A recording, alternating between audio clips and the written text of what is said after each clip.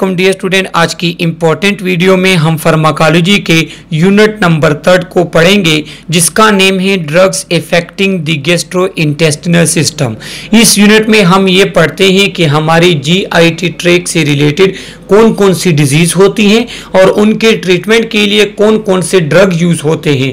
उन ड्रग्स के side effect क्या हैं? कब हमने कौन सा ड्रग यूज़ करना है, उनके एडवर्स इफ़ेक्ट कौन कौन से हैं। तो इस यूनिट का फ़र्स्ट पार्ट ऑलरेडी मैं अपने चैनल पे एक्सप्लेन कर चुका हूँ। मेरे चैनल पे उसका वीडियो लेक्चर है, जिसका लिंक मैंने इस वीडियो के डिस्क्रिप्शन में भी दिया है। और वैसे भी आप लोग मेरे चैनल पे देख सकते हैं। अभी हम एक्सप्लेन करेंगे इसके सेकेंड पार्ट को और इसका थर्ड पार्ट जो लास्ट पार्ट है इस यूनिट का, वो भी मेरे चैनल पे मौजूद है, वो भी आप मेरे चैनल पे देख सकते हैं। तो अभी हम स्टार्ट कर लेते हैं इस यूनिट के सेकेंड पार्ट को। और एक इंपॉर्टेंट बात मैं आपको बताता चलूँ, इस यूनिट के जो आपके पास इम्पोर्टेंट एमसीक्यूज हैं इम्पोर्टेंट पॉइंट्स हैं जो आपके एग्ज़ाम में आ सकते हैं तो उसको भी हम लेक्चर के साथ जो है पॉइंट आउट करेंगे ताकि आने वाले एग्ज़ाम्स में आपके लिए आसानी हो। तो हमारे पास हैं गेस्ट्रो इंटेस्टिनल ड्रग्स के। हाँ गेस्ट्रो इंटेस्टिनल ड्रग्स या जी आई टी ट्रेक जो कि उसके जो ड्रग्स हैं तो वो कब यूज़ होते हैं? वो हमारे पास पेप्टिक अल्सर में यूज़ होते हैं गेस्ट्रो एसोफिगियल रिफ्लेक्स में भी यूज़ होते हैं। अब पेप्टिक अल्सर को एक्सप्लेन करेंगे आने वाले स्लाइड में। गेस्ट्रो एसोफिगियल रिफ्लेक्स किसे कहते हैं कि जब आपके स्टोमिक का एसिडिक कंटेंट वो क्या करे, वो एसोफेगस की तरफ़ ऊपर आए तो इसको कहते हैं गर्ड और इसो गेस्ट्रो एसोफीजियल रिफ्लेक्स डिज़ीज़ भी कहते हैं। क्योंकि हमारे स्टोमिक में एसिड सेक्रेट होता है, अब जब किसी भी रीज़न की वजह से वो एसिड कंटेंट आपकी एसोफेगस की तरफ़ ऊपर आए तो इसको हम कहते हैं गर्ड इसके बाद नाजिया एंड वोमिटिंग स्पेशली जब कोई केमियोथेरेपी करता है कैंसर वगैरह के लिए जो कीमो ड्रग यूज़ करता है तो उस दौरान जो नाजिया वोमिटिंग होती हैं, उसके दौरान भी हम ये जो है ड्रग यूज़ करते हैं। किसी पेशेंट को डायरिया हो या कंस्टिपेशन हो तो इन कंडीशन में हम क्या करेंगे? इन कंडीशन में हम गेस्ट्रो इंटेस्टिनल ड्रग्स को यूज़ करेंगे। और ये गेस्ट्रो इंटेस्टिनल ड्रग्स अब हम एक्सप्लेन करेंगे। अब हमारे पास है peptic ulcer disease peptic ulcer disease किसे कहते हैं? पेप्टिक कर पेप्टिक कहते हैं जी आई टी जो हमारे पास स्टोमिक और अल्सर के कंबाइन जो अल्सर को कहते हैं पेप्टिक अल्सर। अब अगर आपका अल्सर असल किसे कहते हैं कि जब स्टोमिक की जो इंटरनल लाइनिंग है या इंटेस्टाइन की जो इंटरनल लाइनिंग है, जो इंटेस्टाइन के दीवारों को महफूज रखती हैं, किसी भी वजह से अगर उसमें इंजरी आ जाए, वो ख़त्म हो जाए तो इसको कहते हैं अल्सर। अगर आपके पास स्टोमिक में अल्सर हैं तो इसे कहते हैं गैस्ट्रिक अल्सर। अगर आपके पास ड्यूडिनल जो कि इंटेस्टाइन का पार्ट है, उसमें अल्सर है तो उसको कहते हैं ड्यूडिनल अल्सर लेकिन इन दोनों को कंबाइनली कहते हैं peptic ulcer disease peptic ulcer disease means the sore in the lining of the stomach and duodenum An ulcer in the stomach is known as gastric ulcer, while that in the first part of intestine is known as duodenal ulcer. तो ये आपके पास जो definition हैं, ये आपके पास exams में आ सकते हैं स्पेशली पेप्टिक अल्सर तो पेप्टिक से जो है आपका जहन गैस्ट्रिक की तरफ़ जाता है स्टोमिक की तरफ़, लेकिन नहीं. पेप्टिक अल्सर डिज़ीज़ में आपके पास गैस्ट्रिक और ड्यूडिनल अल्सर दोनों आते हैं. इसके बाद हमारे पास है पेप्टिक अल्सर डिज़ीज़ के सिम्टम। सिम्टम कहते हैं शिकायत को कि जब आपको पेप्टिक अल्सर डिज़ीज़ होगी तो इस वजह से आपको कौन कौन से प्रॉब्लम होंगे। पहला है burning pain in the stomach. आपके स्टोमिक में बर्निंग पेन होगा। उसके बाद जलन होगी। आपके स्टोमिक में नाजिया या वोमिटिंग आपको हो सकती है। नाजिया कहते हैं मतली आना मतलब कि आपका जो है किसी चीज़ के खाने का दिल नहीं करेगा। वोमिटिंग भी आपको हो सकती है। वेट आपको होगा।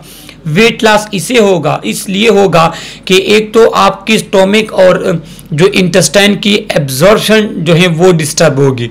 दूसरा ये कि जब आपको नाजिया वोमिटिंग आती हैं तो आप जो है कोई चीज़ खा नहीं सकते। और जब आपका इनपुट इनटेक कम होगा तो जहरी बात है आपका वेट लॉस भी हो सकता है। इसके बाद इनीमिया आपको हो सकती है। इनीमिया किसे कहते हैं? ब्लड जो है डिफिशियंसी को कहते हैं तो इनीमिया क्यों होता है? इनीमिया इसलिए होता है कि इसमें आपके पास एक क्या होते हैं? मिलीना होता है। मलीना ये कि जब आपके पास किसी पर्सन को अगर स्टोमिक अल्सर है गैस्ट्रिक अल्सर है या ड्यूडिनर अल्सर है तो हो सकता है उससे उस पेशेंट को ब्लीडिंग हो। तो ब्लीडिंग ब्लड इंस्टूल को कहते हैं मिलीना या मलीना भी इसे कहते हैं।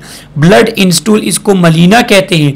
अगर आपके ब्लड में जो आपके स्टूल में अगर ब्लड डार्किश डार्कश कलर का हो कि वो सख्त रेड हो तो ये क्या होगा? इसका मतलब होगा कि आपका कोई जो है गैस्ट्रिक अल्सर है या गैस्ट्रिक ब्लीडिंग हो रही है। अगर उसमें फ्रेश ब्लड है तो इसका मतलब होगा कि ये इंटेस्टिनल ब्लीडिंग है। तो ब्लड इंस्टूल को कहते हैं मलीना। और इस तरह के पेशेंट का जब ब्लड लॉस होगा तो जहरी बात है, उसको क्या होगा? उसको इनीमिया भी आपके पास वो पेशेंट हो सकता है और लॉस ऑफ़ एपिटाइट तो एपिटाइट इसलिए लॉस होगा। एपिटाइट कहते हैं भूख को। भूख की कमी इसलिए होगी कि अगर आपको स्टोमिक में पेन हो रहा है तो आप कोई खुराक लेते हैं गैस्ट्रिक सेक्रेशन और होती है, वो पेन और एग्जेचरेट होता है तो इस कंडीशन में फिर आपको भूख भी कम लगेगी। तो ये हमारे पास कहता पेप्टिक अल्सर के सिम्टम थे। और ये आपके पास एमसीक्यूज में, इसमें से कोई भी सिम्टम जो है, वो आ सकता है, इसलिए आप इसको अच्छे तरीके के साथ पढ़ ले। अब हमारे पास है पेप्टिक अल्सर के काजिज तो काजिज क्या है? Infection with gram negative helicobacter pylori एक तो ये है कि आपका अल्सर एच पाइलोरी की वजह से भी हो सकता है। एच पाइलोरी हमारे पास क्या है? ग्राम नेगेटिव बैक्टीरिया है, जो क्या करता है? जो stomach and intestinal ulcer cause करता है। Regular use of non steroid anti inflammatory drugs जिसमें आपके पास एस्प्रिन आते हैं डिक्लोफेनिक सोडियम वगैरह आते हैं। तो ये क्या है? ये एनसेड हैं। अगर कोई पर्सन रेगुलरली एनसेड यूज़ करता है तो उसको भी ये पेप्टिक अल्सर हो सकता है। अब एनसेड किस तरह पेप्टिक अल्सर काज करते हैं, ये नेक्स्ट स्लाइड में मैं फुल एक्सप्लेनेशन के साथ आपको बताऊँगा कि एनसेड क्यों पेप्टिक अल्सर काज करते हैं। और आप लोगों ने जो है, अच्छे तरीके के साथ इसको सीखना है, क्योंकि ये फिर आपके पास एमसीक्यूज अक्सर आते हैं। इसके बाद severe physiological stress. Severe physiological stress stressful condition that may cause peptic ulcer include burns central nervous system trauma surgery and severe medical illness देखो अगर आप कोई फिजियोलॉजिकली स्ट्रेस लेते हैं, आप डिप्रेशन में है स्ट्रेस लेते हैं तो उस कंडीशन में भी फिर क्या होते हैं पेप्टिक अल्सर डिज़ीज़ आपको होती है। क्योंकि आपकी गैस्ट्रिक सेक्रेशन होती है, आपका जो है स्टोमिक होता है खाली तो वो क्या करता है, वो फिर आपकी जो, वो स्टोमिक लाइनिंग है और इंटेस्टाइनल लाइनिंग है, वहाँ पे क्या करता है, वहाँ पे अल्सर काज करता है। अब आपको स्ट्रेस किस वजह से होता है, जो अक्सर हमारे पास हॉस्पिटल एडमिट पेशेंट होते हैं तो उनको अपनी डिज़ीज़ की वजह से होते हैं स्ट्रेस उनको उनको कभी अपनी सर्जरी की वजह से स्ट्रेस होता है कि मेरी ये सर्जरी होनी है मेरा ये ऑपरेशन होगा।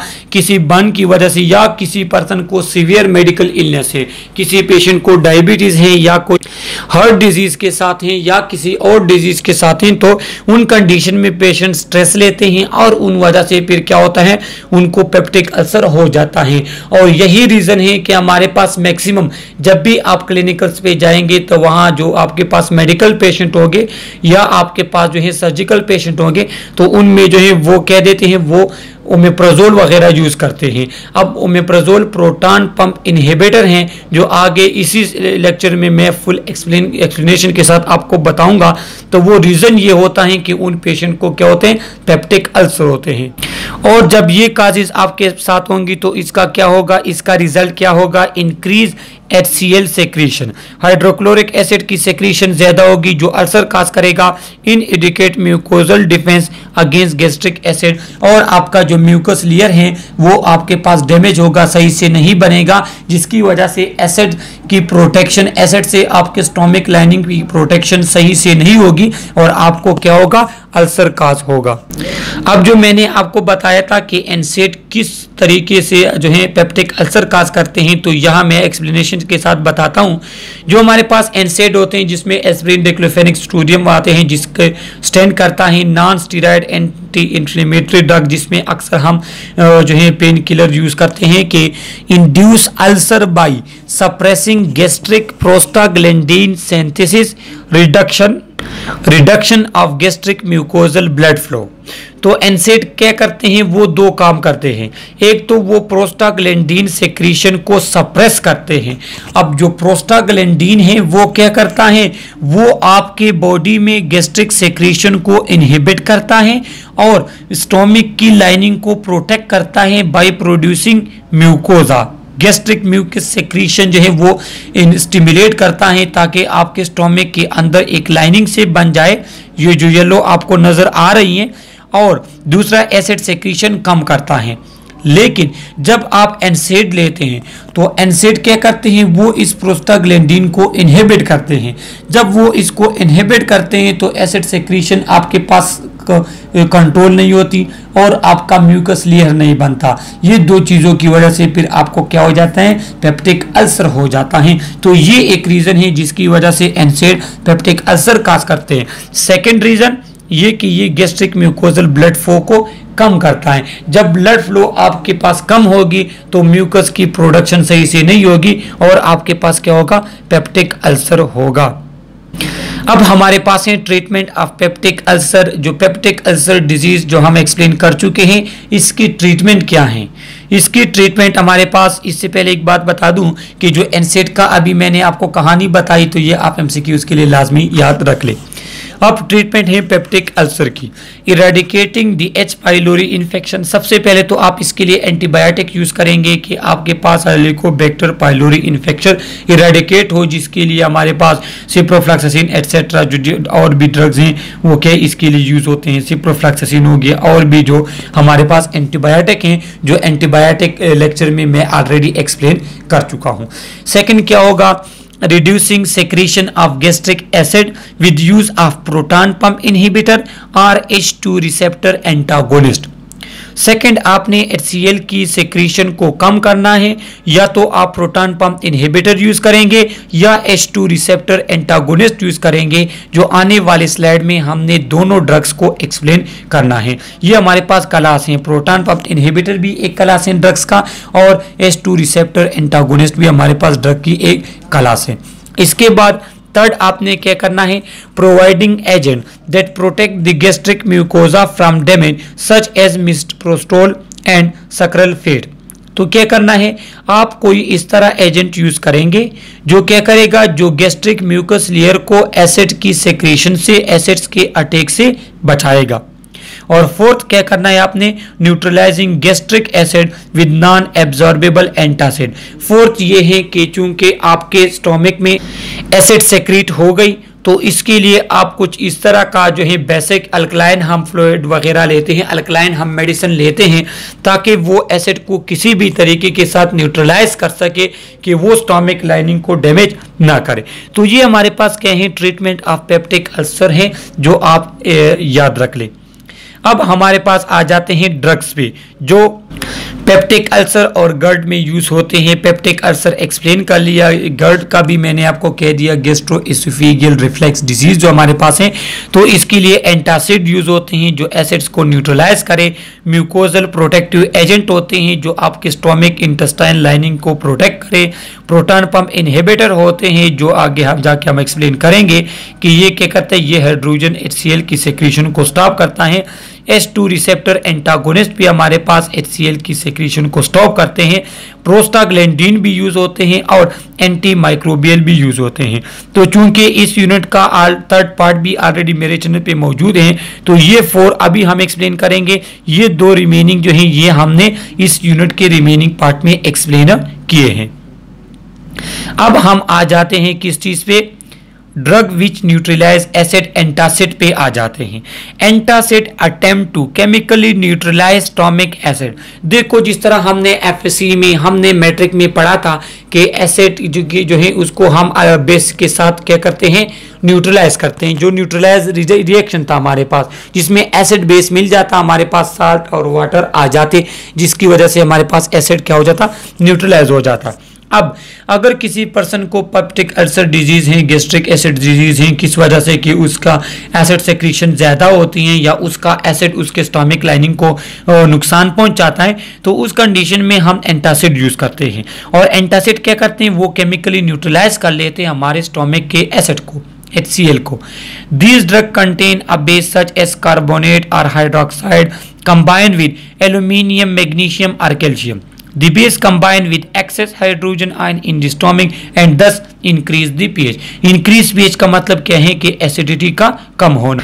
तो जो हम एंटासिड वो हैं कि जिसमें हमारे पास एल्यूमिनियम हाइड्रोक्साइड आता है, यहाँ पे आप देख सकते हैं तो वो एच के साथ मिलकर क्या कर लेते हैं स्टोमिक एसिड को न्यूट्रलाइज कर लेता है स्टोमिक की एसिडिटी को कम कर लेते हैं और पीएच को बढ़ा लेता है। तो इसमें आपने कंफ्यूज नहीं होना। इंक्रीज पीएच का मतलब है लो एसिडिटी लेकिन यहाँ पे इन्होंने एमसीक्यूज की एक इंपॉर्टेंट बात की है कि चूँकि हर ड्रग के अपने साइड इफ़ेक्ट भी होते हैं एडवर्स इफ़ेक्ट भी होते हैं। जो हमारे पास क्या है, जो एल्यूमिनियम कंटेनिंग एंटासिड है तो वो क्या करता है, वो कंस्टिपेशन काज करता है। Constipation is the most common side effect associated with aluminium containing antacid तो जिस पेशेंट को क्या है उसको पेप्टिक अल्सर डिज़ीज़ भी है और उसको कंस्टिपेशन भी है तो उस कंडीशन में हम एल्यूमिनियम कंटेनिंग एंटासिड यूज़ नहीं करेंगे। दूसरा क्या है हमारे पास? दूसरा हमारे पास इंपॉर्टेंट बात यह है कि जो मैग्नीशियम कंटेनिंग प्रिपरेशन होंगे एंटासिड होंगे तो वो हमने डायरिया के पेशेंट में यूज़ नहीं करने। तो इसमें आप एमसीक्यूज के लिए ये याद रख लें कि जो एल्यूमिनियम कंटेनिंग एंटासिड होंगे तो ये हम डायरिया के पेशेंट में यूज़ करेंगे। और जो हमारे पास मैग्नीशियम कंटेनिंग होंगे तो हम वो कंस्टिपेटेड पेशेंट में यूज़ करेंगे। तो ये आप एमसीक्यूज के लिए याद रख लें। अब एंटासिड का मैकेनिज्म ऑफ़ एक्शन क्या है? चूँकि हमारे पास हर ड्रग्स की अपना मैकेनिज्म ऑफ़ एक्शन होता है they achieve their effect by neutralizing gastric acid, inhibit gastric acid secretion और प्रोटेक्ट गैस्ट्रिक म्यूकोजा तो इनका मैकेनिज्म ऑफ़ एक्शन ये है, ये इस तरह काम करते हैं कि ये एसिड सेक्रेशन को क्या कर लेते हैं? उसको न्यूट्रलाइज कर लेते हैं। और आपके पास गैस्ट्रिक एसिड की सेक्रेशन को इनहिबिट भी करते हैं और म्यूकोजा गैस्ट्रिक म्यूकोजा को इस तरह वो प्रोटेक्ट करते हैं कि जब आपके पास एसिड न्यूट्रलाइज होगा तो वो क्या करेगा, वो आपके गैस्ट्रिक लाइनिंग को जो है हार्म भी नहीं करेगा, उसको नुकसान भी नहीं पहुंचाएगा। इसके बाद हमारे पास है इंडिकेशन इंडिकेशन क्या होते हैं? किसी भी ड्रग की इंडिकेशन का मतलब ये है कि ये हम कब यूज़ करेंगे। तो अगर आपको इंडाइजेशन होती है या रिफ्लेक्स एसोफेजाइटस होता है कि आपके गैस्ट्रिक जो है कंटेंट ऊपर एसोफेगस की तरफ़ आते हैं, या आपके स्टोमिक जो है, उसमें पेप्टिक अल्सर के साथ आपको पेन होता है या बर्निंग होती है या पेप्टिक अल्सर है तो उस कंडीशन में हम क्या करते हैं? ये एंटासिड यूज़ करते हैं। इसके बाद हम आ जाते हैं म्यूकोजल प्रोटेक्टिव एजेंट वो एजेंट जो आपके, जो है स्टोमिक की लाइनिंग म्यूकस मेम्ब्रेन की प्रोटेक्शन करते हैं। Drugs which provide a physical barrier like sucralfate and bismuth subsalicylate ये क्या है? ये आ इस तरह करते हैं कि देखो आपकी ये जो स्टोमिक है तो ये उसमें क्या कर लेते हैं? ये उसमें इंटरनल लाइनिंग सी बना देते हैं। ये स्टामिक में इंटरनल लाइनिंग सी बना लेते हैं और जब फिर एसिड आता है तो ये क्या करते हैं? ये लेयर इसको, ये पीछे जो स्टामिक वाली लेयर को प्रोटेक्ट करता है। तो ये हमारे पास क्या है? ये म्यूकोजल प्रोटेक्टिव एजेंट्स है। इसको साइटो प्रोटेक्टिव कंपाउंड भी कहते हैं। साइटो प्रोटेक्टिव मतलब कि ये आपके स्टोमिक के सेल को प्रोटेक्ट करते हैं। तो ये क्या करते हैं? Enhance mucosal protection mechanism preventing mucosal injury reducing inflammation and healing existing ulcer तो ये इनके फ़ंक्शन हैं, आप एम एमसीक्यूज के लिए याद रख लें कि म्यूकस मिम्ब्रेन की इंजरी को प्रिवेंट करते हैं इन्फ्लामेशन को कम करते हैं और हील करते हैं अल्सर को, जो आपके पास ऑलरेडी काज हुआ है किसी भी रीजन की वजह से। Sucralfate is a disaccharide that exert a cytoprotective effect on the stomach mucosa sucralfate may form a protective gel that adhere to ulcer and shield them from content of stomach. अगर किसी person को stomach या intestinal या peptic ulcer हुआ है तो ये सक्रेलफेट क्या करता है ये चूँकि हमारे पास डाई से कराडे ये वहाँ पे बाइंड हो जाता है वहाँ पे ये बाइंड हो जाता है और स्टोमिक कंटेंट को उसकी तरफ़ पहुँचने नहीं देता, जिसकी वजह से आपके पास स्टोमिक अल्सर हील हो जाता है, वो क्योर हो जाता है। दूसरा, हमारे पास bismuth subsalicylate, bismuth subsalicylate, जो हमारे पास है, बिस्मत सब सेलिसाइलेट। ये क्या करता है? इफ़ेक्टिव हील पेप्टिक अल्सर को हील करता है। हैज़ एंटी माइक्रोबियल एक्शन भी इसका है। ये जो अगर कोई इन्फेक्शन की वजह से है तो उसको भी हील करता है। Inhibit the activity of pepsin pepsin की एक्टिविटी को ये इनहेबिट करता है। क्योंकि आपके पास पेप्सिन की एक्टिविटी के लिए भी एसिड की ज़रूरत है और ऑलरेडी एसिड की वजह से आपको अल्सर हुआ है तो ये पेप्सिन की एक्टिविटी को इनहिबिट करता है। Increase secretion of mucus and interact with necrotic mucosal tissue to coat and protect the ulcer crater क्या करता है कि ये आपके पास म्यूकस सेक्रेशन को इंक्रीज करता है और जिस जगह पे आपको अल्सर है तो उस जगह की प्रोटेक्शन भी आपके पास क्या करता है ये म्यूकोजल प्रोटेक्टिव एजेंट जो हमारे पास नेम से है बिस्मत सब सेलिसाइलेट सही है तो ये आप एमसीक्यूज के लिए ये चीज़ें याद रख लें इसके बाद हमारे पास दो जो कि हमारे आर लास्ट पार्ट हैं इस लेक्चर का, कि proton pump inhibitor and hydrogen H2 sorry H two receptor blocker तो प्रोटॉन पंप इनहिबिटर में हमारे पास आता है ओमेप्राजोल लिजोमप्राजोल सही है। इसके बाद पेंटोप्राजोल ये डिफरेंट नेम से हमारे पास आते हैं, सही है। इसके बाद सिमेटाडीन ये एच टू रिसेप्टर ब्लॉकर जो हमारे पास हैं तो सिमेटाडीन रेंटाडीन फेमेटाडीन निजोटाडीन तो ये हमारे पास क्या है? ये एच टू रिसेप्टर ब्लॉकर हैं। तो प्रोटॉन पंप इनहिबिटर क्या करते हैं? जिस तरह मैंने आपको स्टार्ट में बता रहा था कि पीपीआई या प्रोटॉन पंप इनहिबिटर के बारे में हम आगे जाके पढ़ेंगे तो अब मैं आप यहाँ पे आपको पढ़ा दूँ। प्रोटॉन पंप इनहिबिटर इंतहाई इंपॉर्टेंट पार्ट हैं क्योंकि इससे एम भी आते हैं और फ्यूचर में जहाँ पे भी आपने क्लिनिकल करेंगे ये ड्रग्स आपको हर जगह पे मिलेगी। ओमेप्राजोल के नाम से ईसो एमेप्राजोल के नाम से अक्सर आते हैं। रा, राइजिक के नेम से भी ये आते हैं हमारे पास। PPI proton pump inhibitor drug inhibit the hydrogen potassium ATPase enzyme responsible for the secretion acid from gastric parietal cell of the stomach तो ये बातें जो है, ये ऑलरेडी हम इस यूनिट के फ़र्स्ट पार्ट वीडियो लेक्चर में एक्सप्लेन कर चुके हैं, जो मेरे चैनल पे मौजूद हैं, जिसको आप सर्च भी कर सकते हैं कि गेस्ट्रो इंटेस्टिनल ड्रग्स बाय फरमान के अगर आप लोगों ने चैनल सब्सक्राइब किया है तो उसमें भी फार्माकोलॉजी के प्लेलिस्ट में आप चेक कर सकते हैं कि हमारे स्टोमिक में जो पेराइटल सेल होते हैं, वो एच सी करते हैं। अब पेराइटल सेल पे, वहाँ पे ये एक इंजाइम्स होता है हाइड्रोजन पोटाशियम एटीपेस इंजाइम जो वहाँ पे हाइड्रोजन पोटाशियम पंप होते हैं। तो वो क्या करते हैं? वो हाइड्रोजन को बाहर की तरफ़ लेते हैं और पोटाशियम को अंदर की तरफ़ लेकर जाते हैं और इस तरह आपके पास एसिड सेक्रेशन होती है। लेकिन जो प्रोटॉन पंप इनहिबिटर ड्रग्स होते हैं तो वो क्या करते हैं? वो हाइड्रोजन पोटाशियम एटीपेस इंजाइम को इनहिबिट करते हैं। प्रोटॉन पंप को इनहिबिट करते हैं और आपके पास एसिड सेक्रेशन कंट्रोल होती है। For the best result take the proton pump inhibitor अच्छा इसके अब कॉमन साइड इफ़ेक्ट कौन से हैं?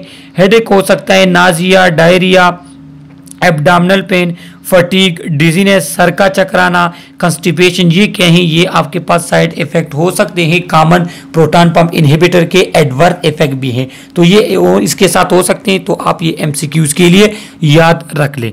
यहाँ पे एक इंपॉर्टेंट बात कही है उन्होंने कि for the best result take proton pump inhibitor 30 minutes before you eat a heavy meal.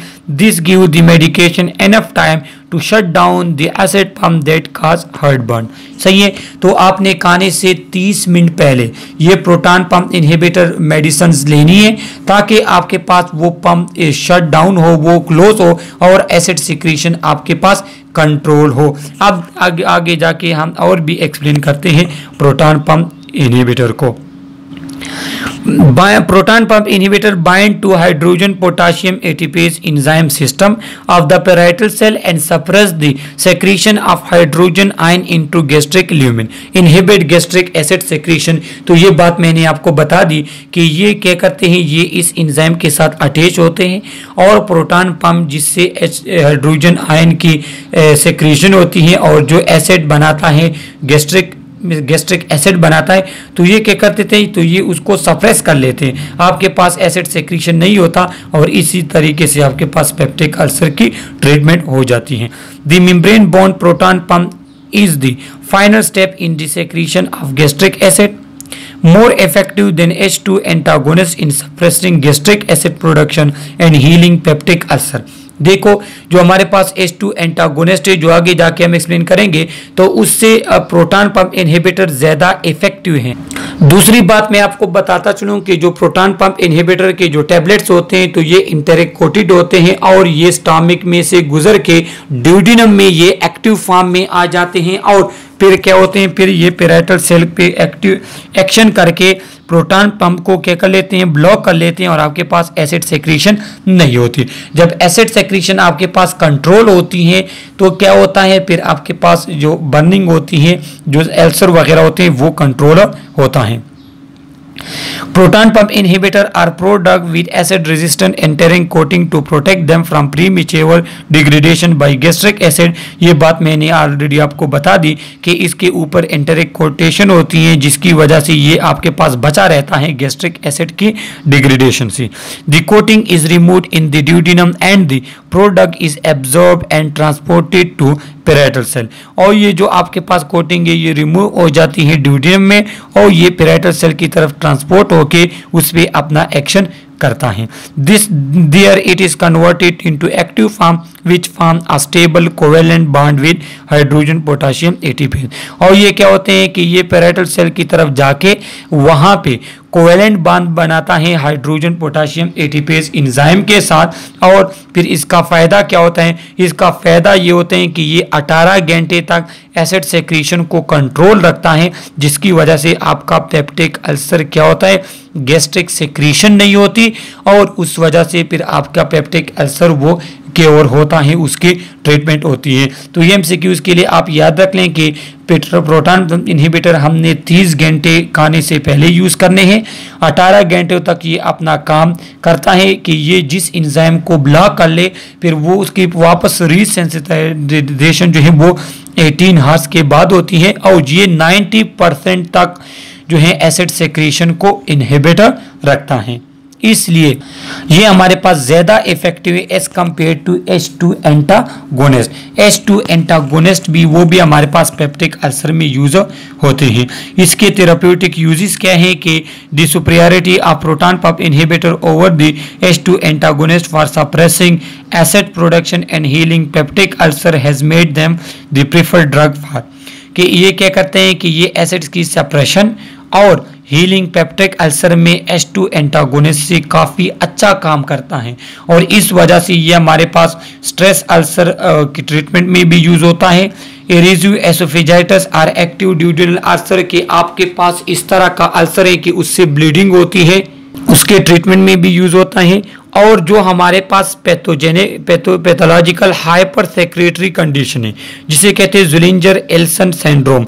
Zollinger Ellison syndrome वो सेंड्रोम होता है, जिसमें आपके पास गैस्ट्रिक एसिड्स की सेक्रीशन नॉर्मल से ज़्यादा हो जाती है। तो जब एसिड सेक्रीशन नॉर्मल से ज़्यादा होगी तो वो एसिड म्यूकोजा को डैमेज करके पेप्टिक अल्सर काज करेगा। तो उस सेंड्रोम में भी क्या करते हैं? उस सेंड्रोम में भी आपके पास प्रोटॉन पंप इनहेबिटर यूज़ होते हैं to treat peptic ulcer disease इसके बाद approved for the treatment of GERD and have again favor over H2 antagonist.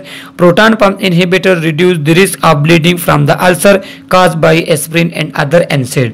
कि आ, किसी पेशेंट को अल्सर है उसके बावजूद भी वो एस्प्रिन या एनसेड वगैरह यूज़ करता है जिसकी वजह से उसके अल्सर से ब्लीडिंग का खतरा है तो आपके पास अगर ड्यूडिनल असर इस कंडीशन में है कि उससे ब्लीडिंग वगैरह होती है तो उसके ट्रीटमेंट में भी फिर हमारे पास प्रोटॉन पंप इनहिबिटर काफ़ी अच्छा जो है अपना रिस्पांस शो करते हैं।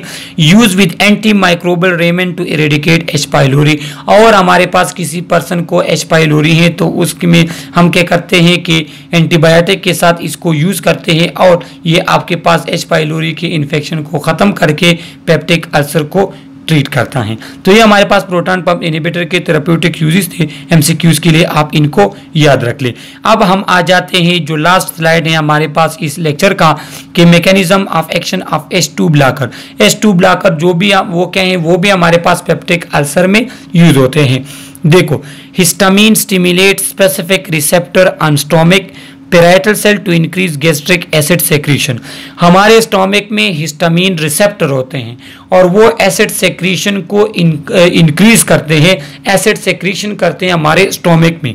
तो एस टू रिसेप्टर ब्लॉकर क्या है कि these histamine receptor are classified as H2 receptor और इस हिस्टामिन के रिसेप्टर को एस टू रिसेप्टर कहते हैं। जो क्या करता है, जो आपके पास एसिड सेक्रीशन कराता है एच टू एंटागोनिस्ट या H2 रिसेप्टर जो हमारे पास H2 ब्लॉकर हैं, वो क्या करते हैं? वो इन H2 रिसेप्टर को ब्लॉक कर लेते हैं। जब वो हिस्टामिन के रिसेप्टर को ब्लॉक करेंगे तो वो फिर एसिड सेक्रेशन आपके पास नहीं कराएँगे। जब स्टोमिक की एसिड सेक्रेशन कंट्रोल होगी या नहीं होगी तो आपके पास पेप्टिक अल्सर ट्रीट होगा। सही है? तो ये मैकेनिज्म है हमारे पास एच टू ब्लॉकर का। यहाँ पे जो है इनके कुछ साइड इफ़ेक्ट हैं इंपॉर्टेंट एमसीक्यूज के लिए याद रखने कि इससे आपको हेडेक नाजिया डायरिया हो सकती है एब्डामिनल पेन हो सकता है डिजीनेस या कंस्टिपेशन आपको हो सकती है। एक इंपॉर्टेंट एमसीक्यूज जो मैं आपको बता दूँ अक्सर जो है आपके एग्ज़ाम में आएगा अक्सर आता भी है कि सिमेटडीन हमारे पास क्या है सिमेटडीन हमारे पास जो आ, पिछले स्लाइड में मैं आपको बता चुका हूँ वो हमारे पास एच जो है रिसेप्टर ब्लाकर है। लेकिन उसके साथ क्या होते हैं? गाइनोकोमेस्टिया होता है। Gynaecomastia is a breast enlargement in man an anti एड्रोनर्जिक property ये क्या करता है? ये मैन में ब्रेस्ट की डिवेलपमेंट करता है। मतलब जो चेस्ट होता है, वो बड़ा हो जाता है और फीमेल की तरह लुक देता है, जो आपके पास सिमेटडीन है। ये इसका क्या है? ये इसका एडवर्स और साइड इफ़ेक्ट ये इसका साइड इफ़ेक्ट है। दूसरा एंड्रो जेनिक प्रॉपर्टी भी इसकी होती है anti androgenic property. Anti androgenic property वो प्रॉपर्टी है कि जिसकी वजह से अगर आप मेल हैं तो उसमें आप में मेल सेक्सुअल करेक्टर जो है वो अपेयर नहीं होंगे। या सप्रेस होंगे, या आप फीमेल है तो आपके फीमेल तो एंट्री एंड्रोजेनिक प्रॉपर्टी इसकी क्या है कि ये आपके पास जो टेस्टिस्टोन अपना जो काम करते हैं, ये उसको सप्रेस करता है सिमेटडिन तो ये इसके साइड इफ़ेक्ट हैं तो जब भी आप किसी पेशेंट को देंगे तो इससे पहले आपने इसको, ये बातें जो है आपको बतानी है कि अगर जो है आपका अगर कोई सेक्सुअल एक्टिविटी वगैरह पे उसमें अगर कमी आती है तो अपनी टेंशन नहीं लेनी, ये इस मेडिसिन के साइड इफ़ेक्ट होते हैं। सही है? ये हमारे पास क्या है? ये H2 रिसेप्टर ब्लॉकर जो है, ये उसका मैकेनिज्म ऑफ़ एक्शन है, जो इस पिक्चर के थ्रू आप देख सकते हैं। और H2 रिसेप्टर एंटागोनिस्ट के थेरापेटिक यूज़ ये है कि ये पेप्टिक अल्सर में यूज़ होते हैं एक्यूट स्ट्रेस अल्सर में भी यूज़ करते हैं, और गर्ड गैस्ट्रो इसफिगल रिफ्लेक्स में भी आ ड्रग डिज़ीज़ में जो है आप इसको यूज़ कर सकते हैं। तो इसके यूज़ भी प्रोटॉन पंप इनहिबिटर की तरह है, लेकिन प्रोटॉन पंप इनहिबिटर इससे ज़्यादा अच्छे हैं, और आजकल लोग प्रोटॉन पंप इनहिबिटर को ज़्यादा प्रेफर करते हैं as compare to H two receptor antagonist तो ये हमारे पास गेस्ट्रो इंटेस्टिनल ड्रग्स के लेक्चर्स का सेकेंड पार्ट था। इसका लास्ट पार्ट और फ़र्स्ट पार्ट ऑलरेडी मेरे चैनल में मौजूद है। आप लोग मेरे चैनल को सब्सक्राइब करें बेल का आइकन प्रेस करें ताकि हर आने वाली वीडियोस आपको मिल सके। Okay thank you